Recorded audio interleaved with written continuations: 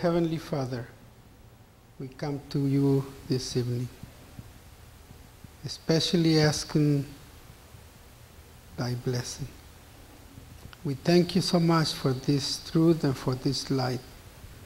This evening, O oh God, I ask that you may cleanse our body and our minds, that the fire of the Holy Spirit may descend on us, that we can understand your truth fully. And also that may we go and share with our brethren, share with others that do not know this truth, they may, they, they, they may reach salvation also. Help us, O oh God, to be truthful, to be firm, to stand so that we may someday go to heaven and be with you forever. In the name of Jesus Christ, I ask all these things. Amen.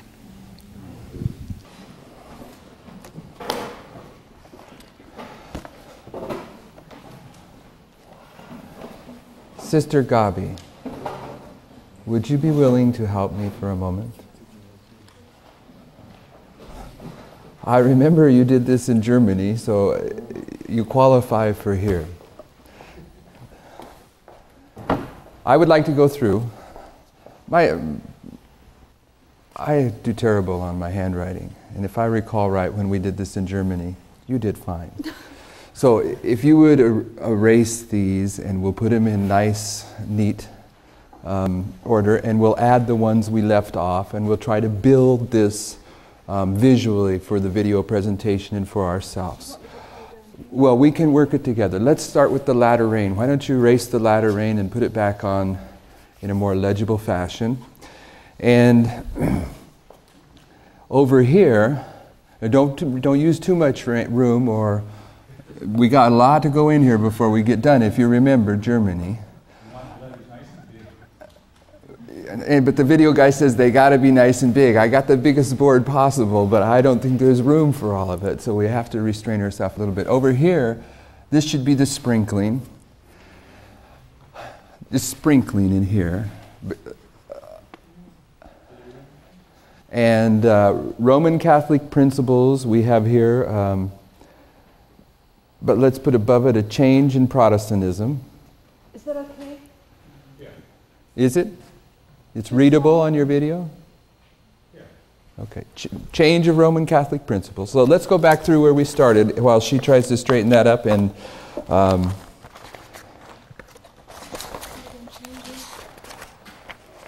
a change in Protestantism.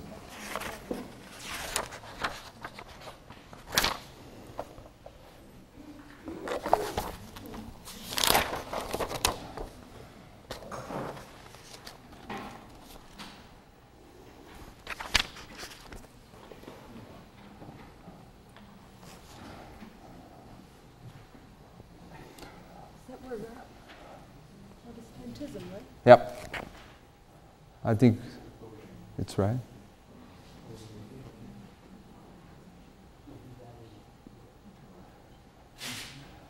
We would capitalize Protestantism over here, but uh, this can be European. Okay. Um, Roman Catholic, uh, Catholic principles accepted. We'll summarize it that way underneath it.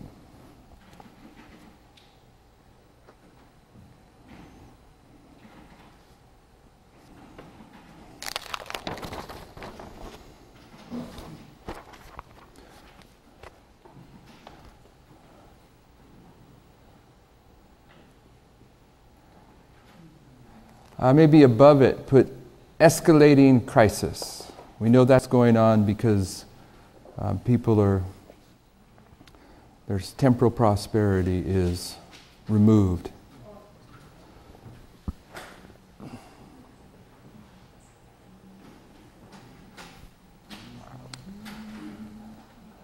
And uh, you can put, you can erase that movement going on in darkness and put that in there.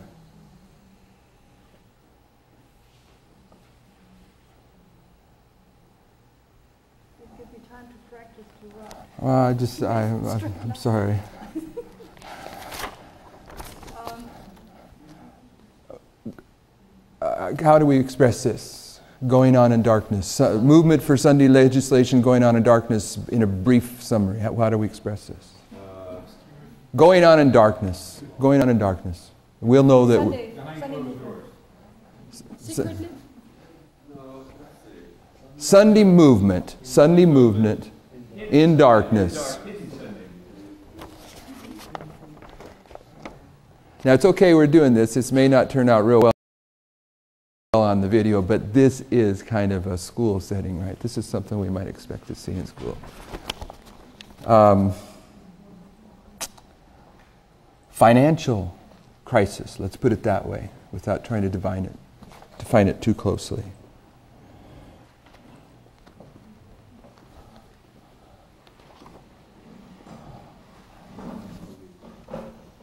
Leaders, uh, how, po- leaders operating on policy, how, instead of principle, how would we express this? Politicians. Worldly politicians. Yeah, that, that's a very politicians, but policy men, policy, Policy rather than principle?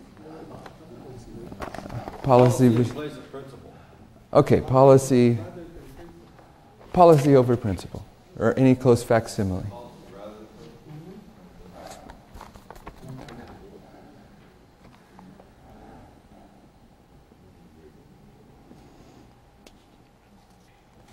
Um, uh, financial crisis right here. Um, the the uh, what what is testimonies for agencies of evil combining.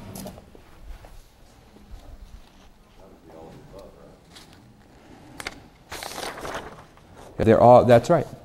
Um, the waymarks. We're to understand the waymarks and their bearings. Bearings is that they all have an influence on each other. They're all have a connection. That's how I understand it, at least. Uh, are we forgetting anything that we've dealt with in terms of so far?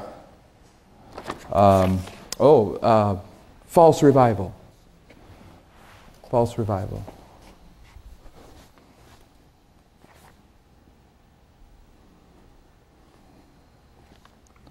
Okay. Financial crisis. That's, that's, we're using that under the umbrella. Are we missing anything that we've talked about so far? Okay, thank you. That's more legible. Unless you want to redo national ruin, down here, mine.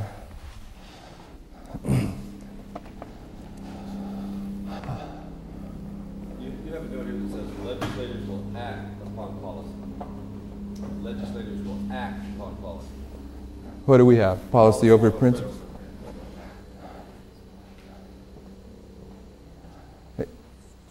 Too late. We'd have to erase too much. Um,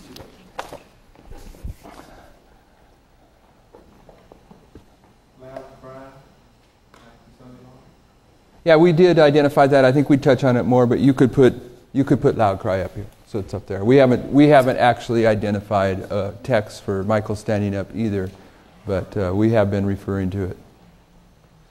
All right, thank you.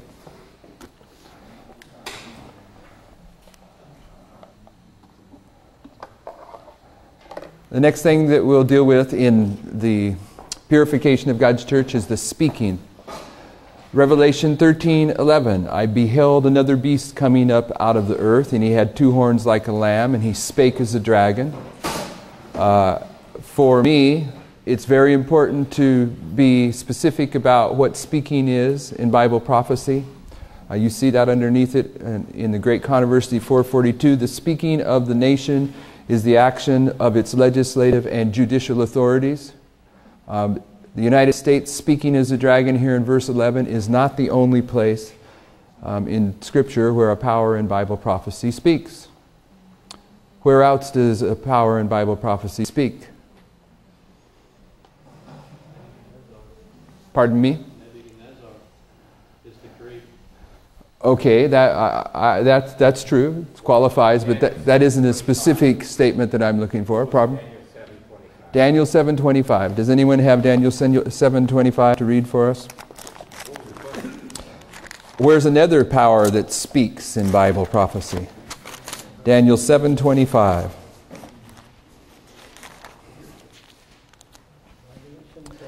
And he shall speak great words against the Most High. How did the papacy here in verse 25 speak great words against the Most High?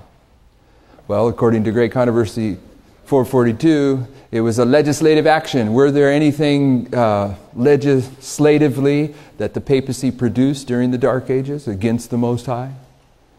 Yes, all, all the papal bulls that were going out that were used to destroy between 50 and 100 million people were sustained upon papal legislation. The speaking of a power in Bible prophecy is the action of its legislative and judicial branches.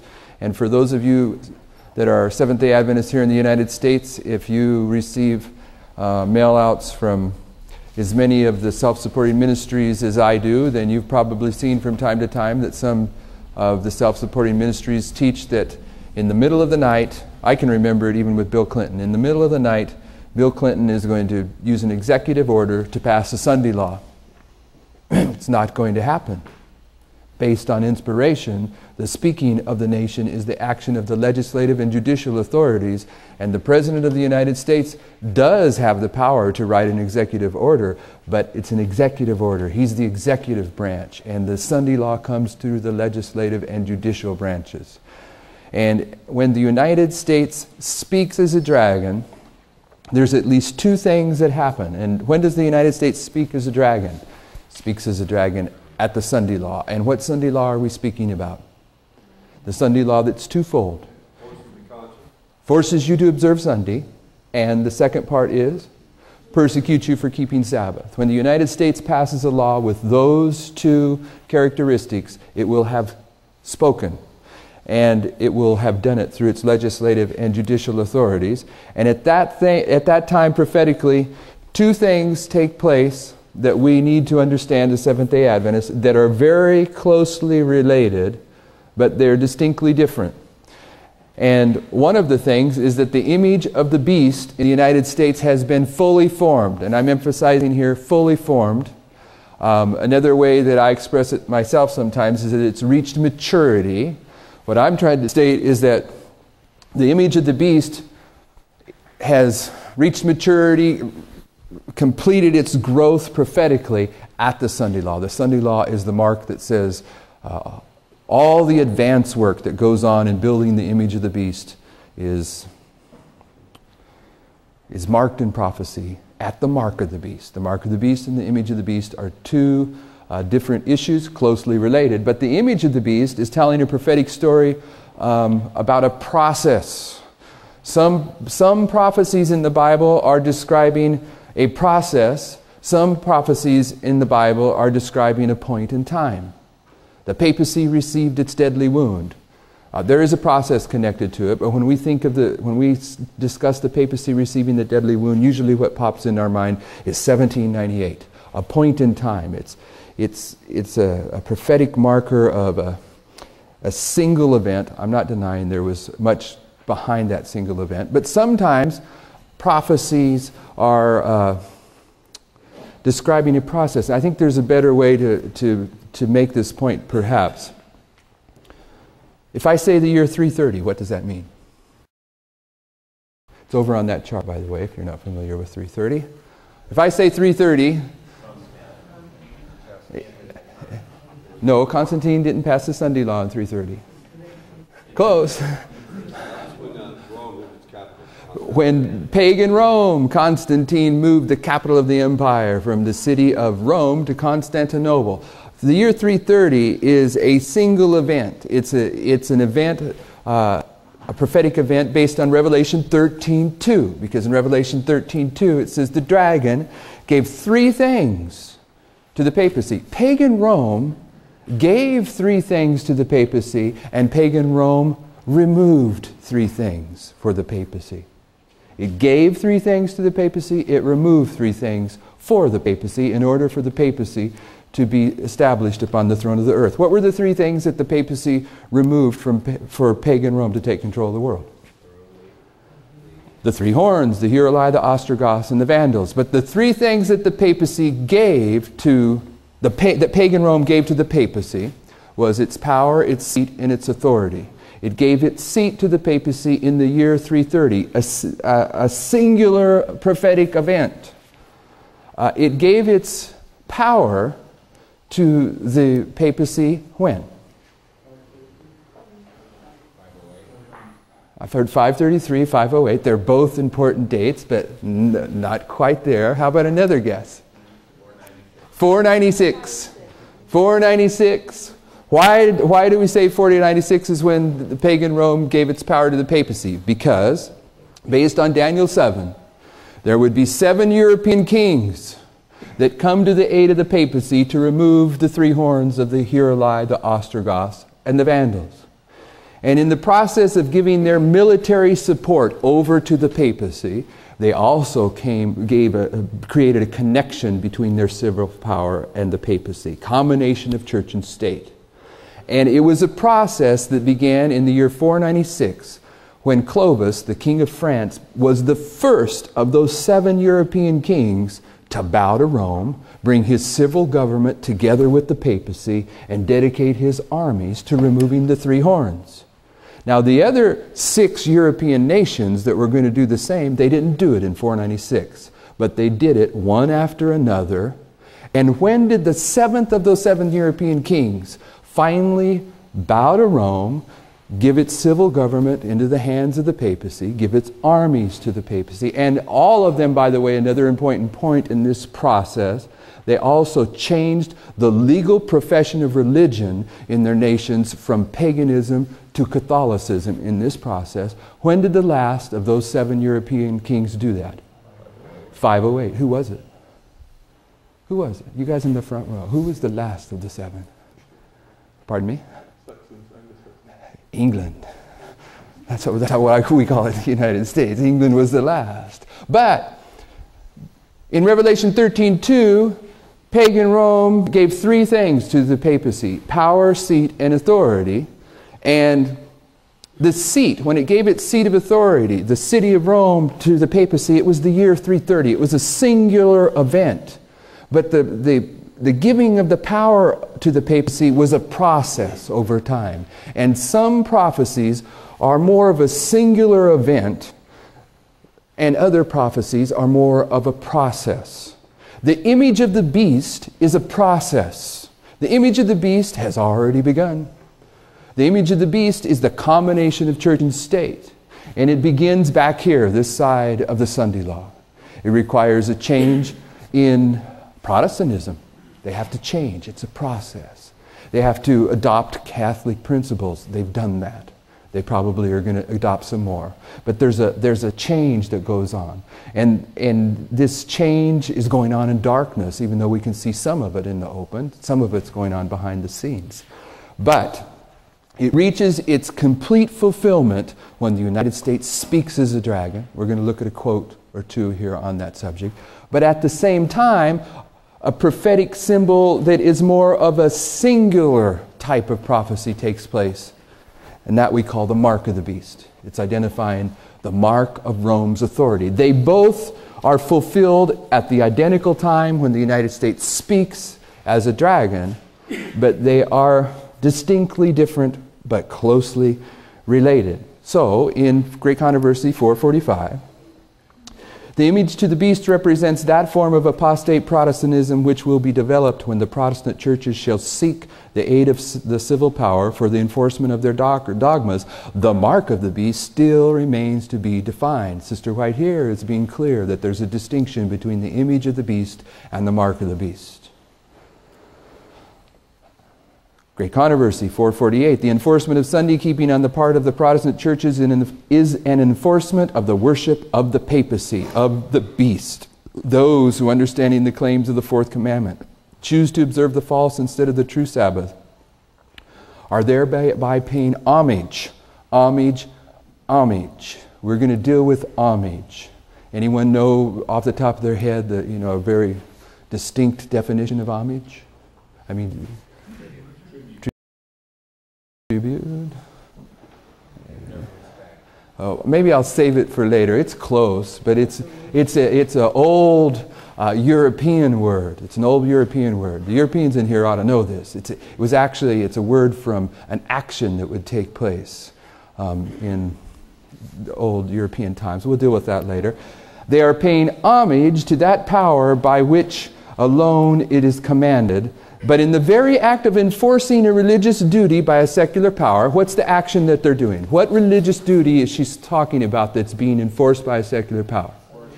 Sunday keeping. But in the very act of establishing the mark of the beast, that's what she's saying here. But in the very act of enforcing a religious duty by a secular power, the churches would themselves form an image to the beast. Hence, the enforcement of Sunday keeping in the United States would be an enforcement of the worship of the beast in his image. At the Sunday law, the image of the beast has reached full maturity. It's a process. And at the Sunday law, the mark of the beast goes forward. And, brothers and sisters, it's, from my understanding, it's important to make that distinction. It's important to understand what, what those two things mean prophetically um, as we begin to dissect Bible prophecy. 443 great controversy. When the early church became corrupted by departing from the simplicity of the gospel and accepting heathen rites and customs she lost the spirit and power of god and in order to control the consciences of the people she sought the support of the secular power. The result was the papacy a church that controlled the power of the state and employed it to further her own ends especially for the punishment of heresy. In order for the united states to form an image of the beast the religious power must so control the civil government that the authority of the state will also be employed by the church to accomplish, accomplish her own ends. There, there's a point in here that maybe we all understand, but it's, it's, it's always a, a burden on my heart to try to drive this point home. If you want to symbolize or shrink down, summarize the definition of the image of the beast in real easy term, terms, it's the combination of church and state. But there's one other factor that has to be noted, and it's in here. It's not simply the combination of church and state, it's the combination of church and state with the church in control of the relationship. It's not with the state in control of the church, it's within the ch- when the church controls the state. And this distinction is made in inspiration, and this distinction needs to be recognized. Needs to be recognized. The image of the beast is the combination of church and state with the church in control of the relationship. And Bible prophecy um, bears this out from a lot of different directions that, Lord willing, we're going to see this week. Now, I had a brother come up in between this last meeting and he asked me about a quote. This quote's found in a few places in inspiration, and one of them is in connection with the visions of Anna Phillips. Was it Anna? But- But, but I think, oh, anyway, we know her name. Her name isn't hidden, Anna. But anyway, it ha- this quote has, doesn't have anything to do with her, what, the part we're dealing with. Um, but this quote here comes from Seventh day Adventist Bible Commentary, Volume 7, 976.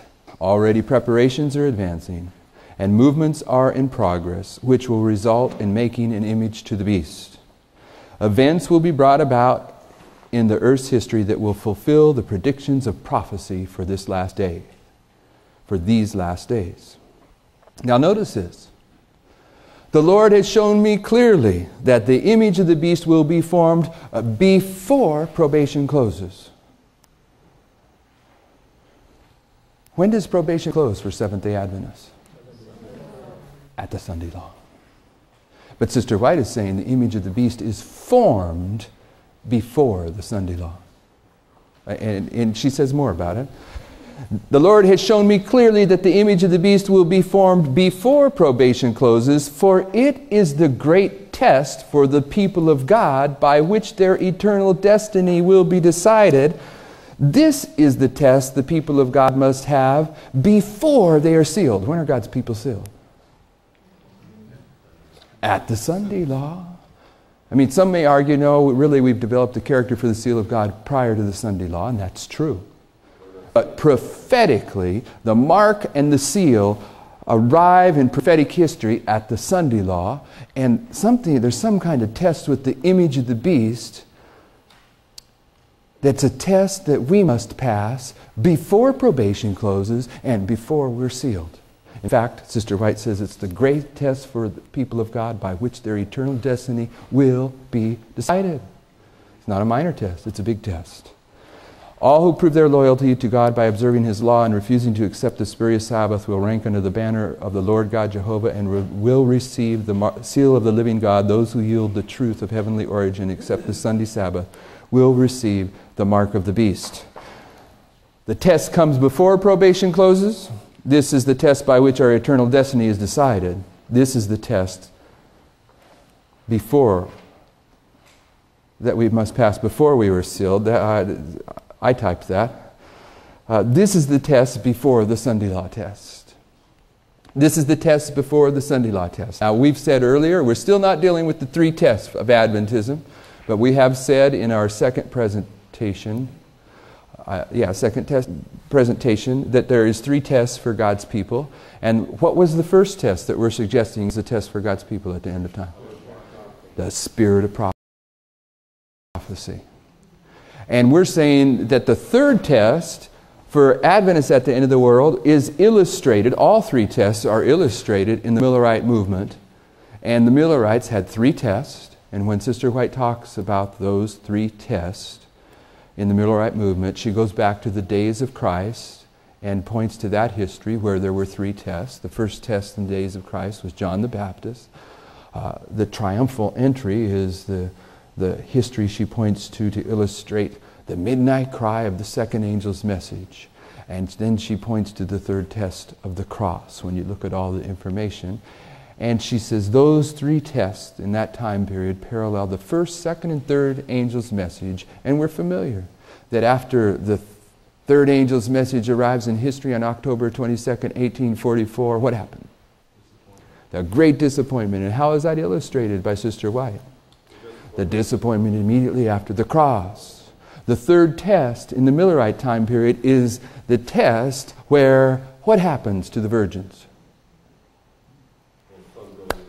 The door closes. This is where the door is shut on the virgins. October 22nd, 1844. So, if we're going to use that history of the Millerite time period and bring it to the end of the world and say, well, we should expect to see three tests at the end of the world, we know that it's at the third test where the door closes. And where does the door close? On Adventism at the end of the world at the Sunday law. The Sunday law is the third test. This is where the wise and foolish are going to demonstrate the character that they prepared prior to that time period.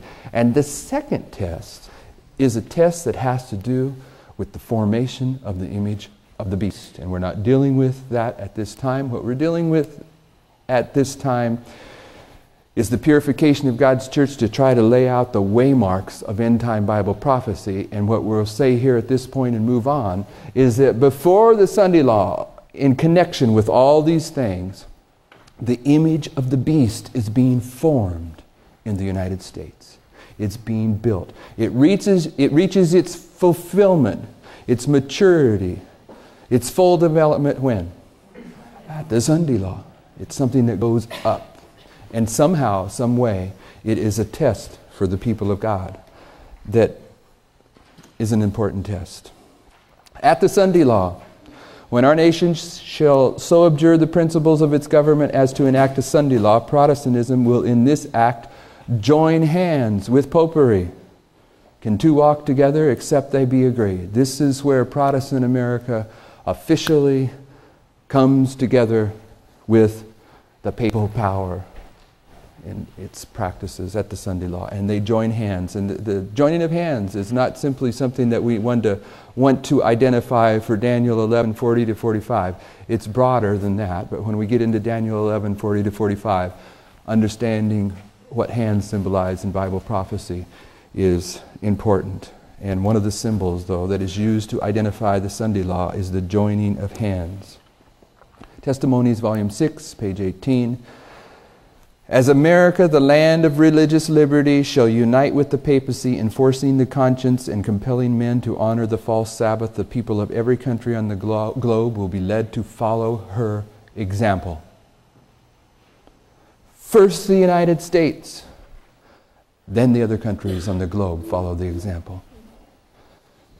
Foreign nations will follow the example of the United States. Though she leads out, yet the same crisis will come upon our people in all parts of the world. That's two testimonies to that. You know where you get a third testimony to that? Revelation 13, Revelation 17, Daniel 11. This is the sequence of the Sunday law progression in Bible prophecy. Sister White's doing nothing more than echoing uh, the truth that's established in the Bible. First, the United States, then the other countries on the globe follow her example. You know, there's an argument in Adventism about what the glorious land is, is in verse 41 of Daniel 11. Some people want to teach that's the Seventh day Adventist church. Can't be, can't be. But I'm just telling you the distinction. There's a lot of reasons why it can't be. It's the United States of America, and there's a lot of reasons why the glorious land in verse 41 of Daniel 11 is the United States of America. But if you take the word glorious, which means in sense of prominence, and uh, you can identify why the United States is prominent in the world for a lot of different reasons, but I want to remind you of one very important one.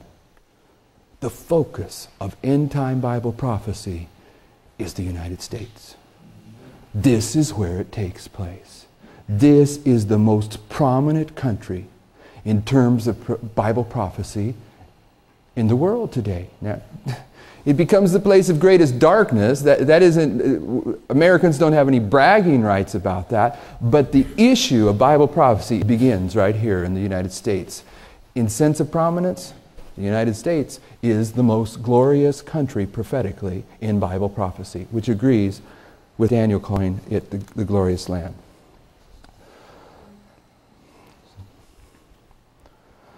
We're one um, presentation ahead of where um, I thought we would be. I, am pretty familiar on how to get through this material, um, but not on PowerPoint. So as I was putting it together, I was unsure how quick we could go, and I've probably been going a little bit faster because of my unfamiliarity with the subject.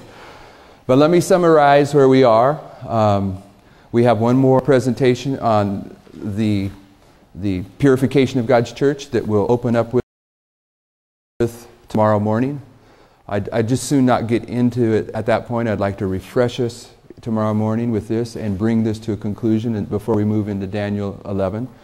Um, but what we've suggested here so far, if I can recap some of it off the top of my head, is that there are certain rules of Bible prophecy that we need to understand if we're going to be students of prophecy and correctly analyze Bible prophecy at the end of the world. Um, in our first couple presentations, that's what we were looking at. Upon the testimony of two or three, a thing shall be established. Um, the, each of the ancient prophets were speaking more about the end of the world than the days in which they lived. And if the ancient prophets were speaking about the end of the world, then it means they're all telling the same story. That's the logic of it all, and of course, that's what the Bible says. The spirit of the prophets are subject unto the prophets. They're going to agree with one another. If the ancient prophets are speaking about the end of the world, then they're all telling the same story, but it doesn't mean that they're telling the complete story of the end of the world. This prophet tells a little piece, a little here, a little there. The work of a student of prophecy is to bring the various uh, prophetic testimonies down to the end of the world and correctly align them. Bible prophecy is identified as being portrayed upon a timeline that leads down to the end of the world. Historical events upon this timeline are what identifies the fulfillment of Bible prophecy. These historical events are called waymarks by Sister White at some point, at some times. It means marks along the way. And she tells us that we need to understand their bearing to one another. These waymarks have a relation to one another. It's not simply enough to know these historical events. We need to know how they impact the event after them and how they were impacted by the events before them. Um, this isn't a, um, a rote learning process that the Lord has set down in prophecy. This is a, a deep and profound subject. These historical events that are sometimes called waymarks are figurative. They prefigure future events. And this is consistent with um, the primary characteristic that's set forth, at least in terms of how many times a characteristic is set forth in Revelation, in chapter 1, the primary characteristic identified by, Christ is that He is the first and the last. Um, I don't think that we have, as God's people, have really come to grips with what that means, but let me give you at least an example of what I'm saying. One of the tests of whether we understand a prophecy in the Bible correctly is do we see in the first and the last of that particular prophecy an agreement. Okay, let me, let me explain what I mean. The 1200, try to explain what I mean. Um, and this question I'm going to ask because you all are probably advanced students, you'll know this question, but I want you to understand when I ask this question in Adventism and to a lot of people now, I mean, not in the tens, but in the hundreds, I virtually never get the answer. And I know some people in here have the answer. But what's the starting? What historical event can we use to identify the starting point of the 1260 years of papal rule?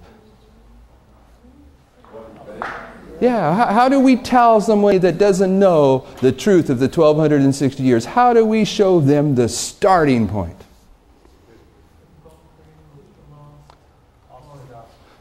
the final of the three horns, the Goths, they fled the city of Rome when? March 538. The third horn had been removed. That is the historical event that identifies the beginning of the 1260 year day prophecy. This is the alpha of this prophecy. This is the beginning.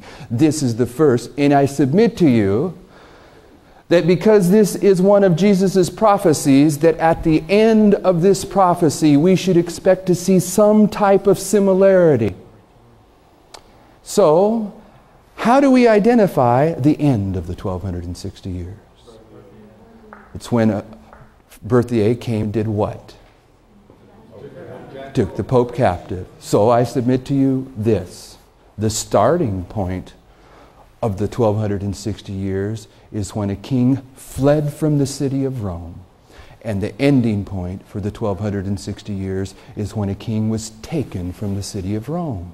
Jesus speaks through the first and the last. This is a simple example to try to, to try to illustrate the theory that I'm trying to throw out here, if it may be unfamiliar. Let me give you one more. And I'm using time prophecies. I'm not saying that the first and the last signature by Jesus in his prophecy is restricted to simply time prophecies, but it is easier to illustrate it. This is the 2300 year prophecy. What starts the 2300 year prophecy? The third decree. The third decree. There was three decrees. What ends the 2300 day prophecy? the third message. But now we're waiting for what? The fourth message. And this, this time period here, what is this? This is the time period of Adventism. This is from the third angel's message, October 22nd, 1844. This is when God raised up the Advent people, not to rebuild and restore literal Jerusalem, to, but to rebuild and restore spiritual Jerusalem, correct? That's why Sister White in several places says the work that Nehemiah did back here at the beginning of the 2300 day prophecy symbolized the work that we were to do during this time period. So this these three messages and this fourth message, this is symbolizing the work of modern Israel. And when does this, this work get symbolized? It gets symbolized at the end of the 2300 day prophecy. And how does the 2300 day prophecy begin? With the same story only it's the literal rebuilding and restoring of Jerusalem. And both of these works begin on the third decree or the third message, and what symbolizes that the work is done? The fourth message. God's people, the 144,000 have been developed. Right? That's the, in a sense, that's the end of the work. What symbolizes the end of the work back here? Who's the symbol, Sister White says, symbolizes the end of the work back here? Who? Not Jerome. You're, I, I, maybe, but, but the one I'm thinking of is Nehemiah.